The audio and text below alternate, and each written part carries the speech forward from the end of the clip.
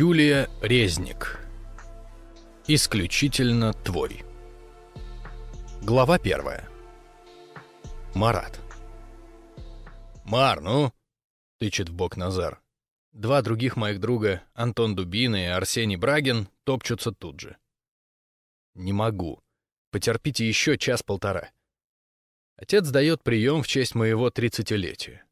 Я обижу родителей, если просто так сдернусь. Мужики синхронно стонут. Здесь им скучно. Не спасает даже знаменитое кавказское гостеприимство, потому что так же сильно оно обязывает вести себя сдержанно и достойно. А мужики хотят дурить. И толку, что взрослые дядьки. «Чего хоть ждем? Я уже обожрался, опился», — жалуется Антон. «Теперь главное не обоссысь», — ржет Назар. Смотрю на эту троицу с иронией. Хочется тоже бросить что-нибудь эдакое. Скабрёзное, чтобы от них не отставать. Но я в доме моих родителей. Это сдерживает. Я хорошо воспитанный мальчик. Гордость отца. Марик. Мама. Зар Джамильевна, заискивающе улыбаются мужики. Мама у меня красавица. Однажды мы чуть не сцепились с Назаром. Он ляпнул в ее адрес что-то недопустимое, не со зла, конечно, но я закусил у дела. Все же разница культур иногда дает о себе знать, хотя в большинстве своем мы уже разобрались, что можно, а что харам. Мужики у меня понятливые. Деликатные даже, пусть порой в это сложно поверить. Кланяются, загребущих лапищ к маме не тянут, трогать чужую женщину харам. «Мальчики», — улыбается мама. «Некоторым мальчикам хорошо за тридцать. Но против такого обращения они не возражают, только в ответ тянут губы. «С тобой отец хочет поговорить». Оглядываюсь на мужиков. Те вздыхают, понимая, что продолжение праздника теперь откладывается на неопределенный срок. Мама, замечая это, улыбается шире. Мама все про меня понимает. Мама мудрая. «Иди, потом сразу можешь уехать». Ее улыбка гаснет. «Так, с чего бы вдруг?» Я должен к чему-то подготовиться? Отец сам все тебе расскажет. Пропускаю маму в приоткрытые двери. Мам, это мужской разговор. Склоняю голову. Мама целует в лоб, мужской так мужской. Отец. Заходи, Марат. Как ты? Все хорошо. Усаживаюсь напротив кресла. Спасибо за вашу речь в начале вечера. Я тронут. Это правда. Отец был хоть и сдержан, но дал понять, что в самом деле мной гордится. Это важно. Я давно перерос те проекты, которые он мне до этого поручал, и надеюсь, что теперь, когда я проявил себя лучшим образом, мне, наконец, доверят семейный бизнес. Или хотя бы одно из его направлений. Заслужил. Отец настроен добродушно, я чуть расслабляюсь. Ты хорошо справляешься с делами. Спасибо. У меня перед глазами достойный пример. Как там у нас говорят, лучше сиди там, где нет Аллаха, чем там, где нет старшего. Не всякому чужой пример помогает. Я же могу не переживать за дело своей жизни. Это дорогого стоит. Я не подведу. И тут у меня нет сомнений. Теперь меня в гораздо большей степени волнует другое. И что же? Отец помешивает в хрустальной армуде чай. Аромат наполняет комнату. Моя бабушка говорила, что в доме всегда должно пахнуть уютом, чтобы гость не захотел из него уходить. Я уношусь в детство, в воспоминания. Отец тоже как будто никуда не спешит. Вместо прямого ответа на мой вопрос он заходит издали. «Зара говорит, что это все слишком на тебя давило». Я не жалуюсь. И не жаловался никогда, да. Но твоя мать уверена, что из-за слишком большой ответственности, которую на тебя наложило наследие, ты упустил нечто важное. И что же? Я пытаюсь не хмуриться, но мышцы так и сводят. Тебе тридцать, а ты не женат. Ну, мам, блин, что за подстава? Это дело не хитрое, и все же. Плохо то наследство, которое некому передать. Это ж мы теперь и о детях, так? Вот и как я настолько влип. Все хорошо же было. Отец, Вы сейчас к чему-то конкретному клоните? Тебе надо жениться. Кому надо? Да какого хрена вообще? Не на ком выкручиваюсь. Да что ж, мы тебе не найдем невесту. У Алима две дочери, у Фариза. А у нас с ним, кстати, один проект. Отец. Хорошие, чистые девочки. Да ну что ж такое-то? Почему мне кажется, что я в ловушке? И? Я же ни одну из них даже не знаю. Познакомитесь. Я твою мать вообще впервые на свадьбе увидел. И ничего, как видишь, счастлив.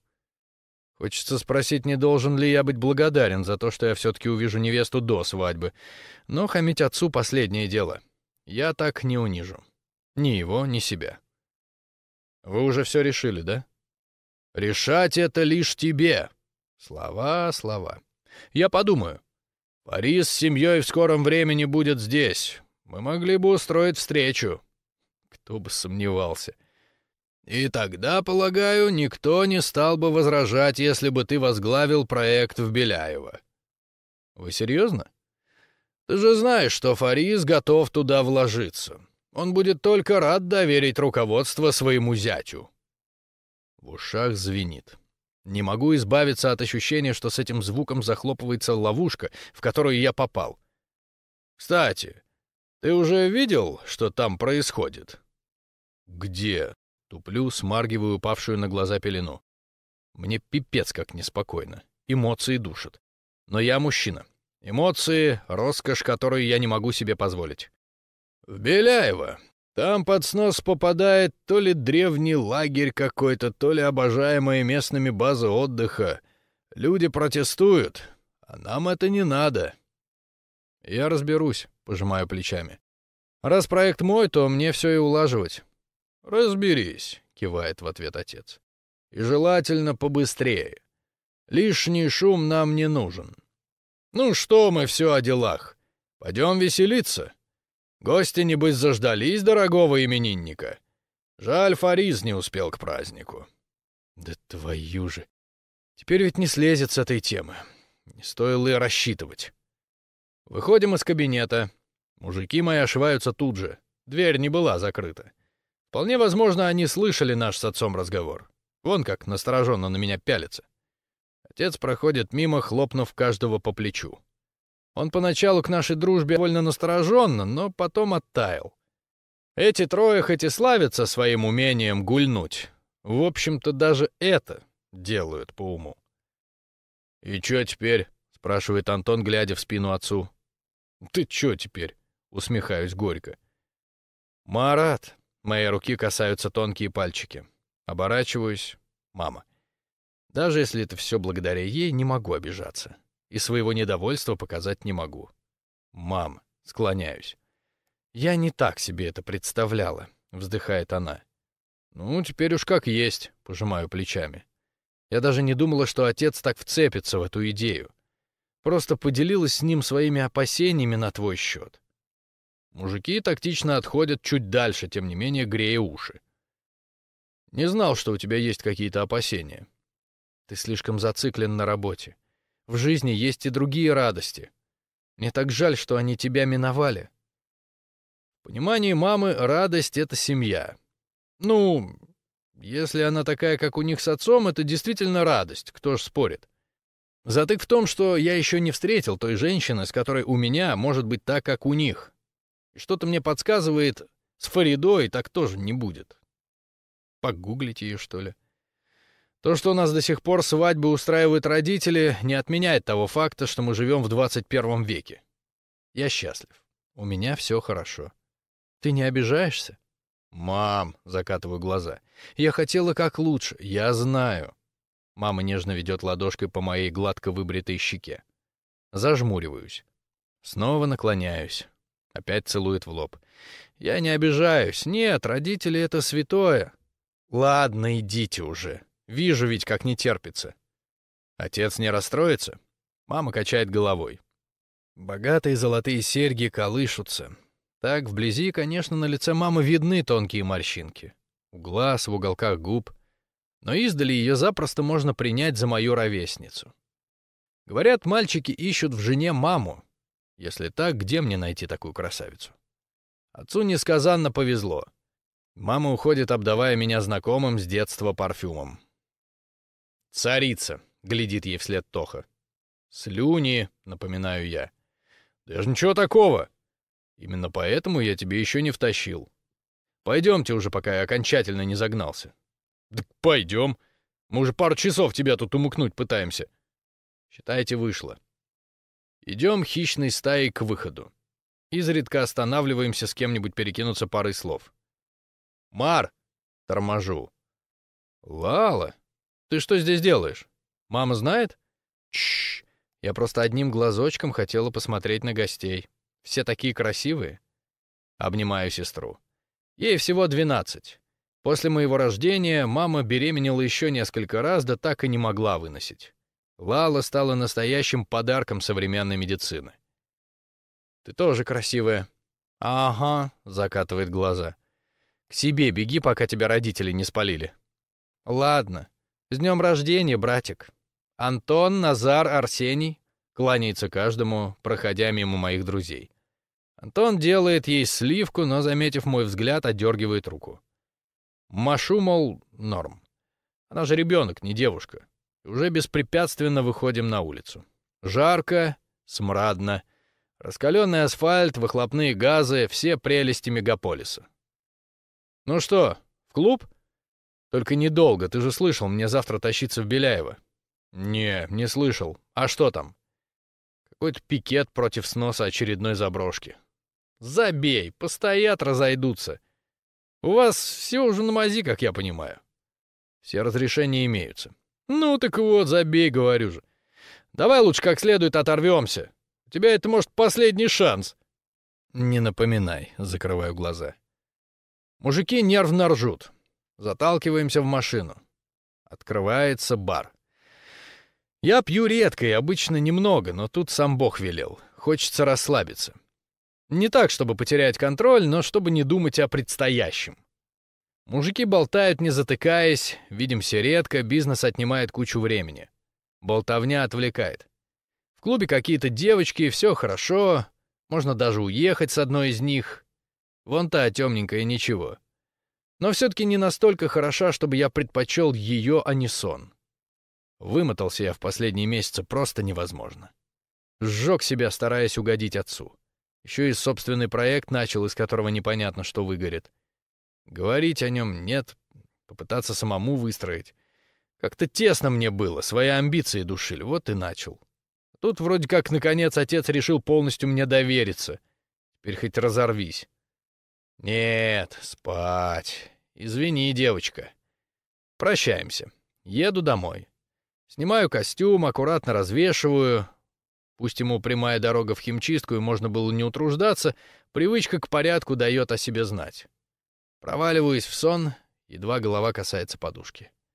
Кажется, только уснул, как телефон будет. «Чего?» не глядя на номер. «Марат Маратович, у нас ЧП!» Стою резко, так что в голове кружится. «Что за ЧП?» Оказывается, идиоты в Беляево решили нагнать техники, несмотря на протест.